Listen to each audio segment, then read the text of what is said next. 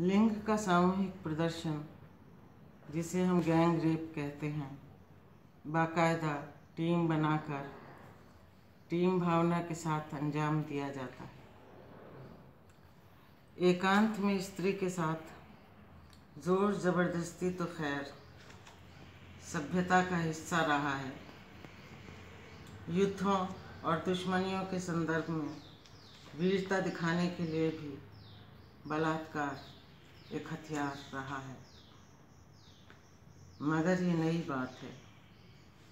लगभग बिना बात, लिंग का हिंसक प्रदर्शन। लिंगधारी जब उठते बैठते हैं तो भी ऐसा लगता है, जैसे वे लिंग का प्रदर्शन करना चाहते हैं। खुजली जैसे बहानों के साथ भी वे ऐसा व्यापक पैमाने पर करते हैं। माँ बहन की गालियाँ देते हुए भी वे लिंग पर इतरा रहे होते हैं।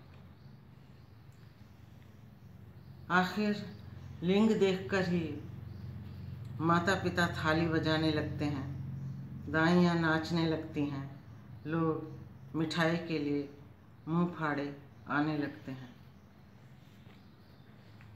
ये ज़्यादा पुरानी बात नहीं है।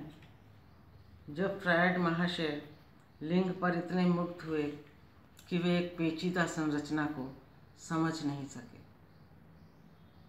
लिंग के रूप पर मुक्त, वे उसी तरह नाचने लगे जैसे हमारी दाइयाँ नाचती। हैं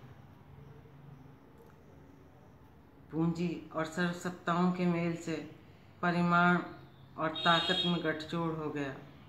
ज़ाहिर है, गुणवत्ता का मेल सत्ता विहीन और वंचित से होना था। हमारे शास्त्र, पुराण, महान धार्मिक कर्मकांड, मनोविज्ञान, मिठाई और नाते रिश्तों के योग से लिंग इस तरह स्थापित हुआ जैसे सर्वशक्तिमान सृष्टिकर्ता। आश्चर्य नहीं कि माँ की स्तुतियाँ कई बार लिंग के यशोगान की तरह सुनाई पड़ती हैं। लिंग का हिंसक प्रदर्शन उस समय ज़रूरी हो जाता है जब लिंगधारी का प्रभाव मंडल ध्वस्त हो रहा हो।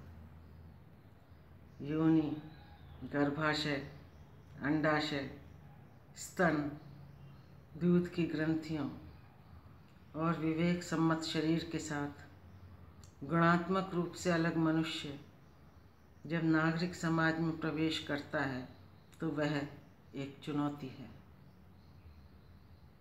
लिंग की आकृति पर मुक्त, विवेकहीन लिंगधारी, सामूहिक रूप में अपना डगमगाता वर्चस्व जमाना चाहता है।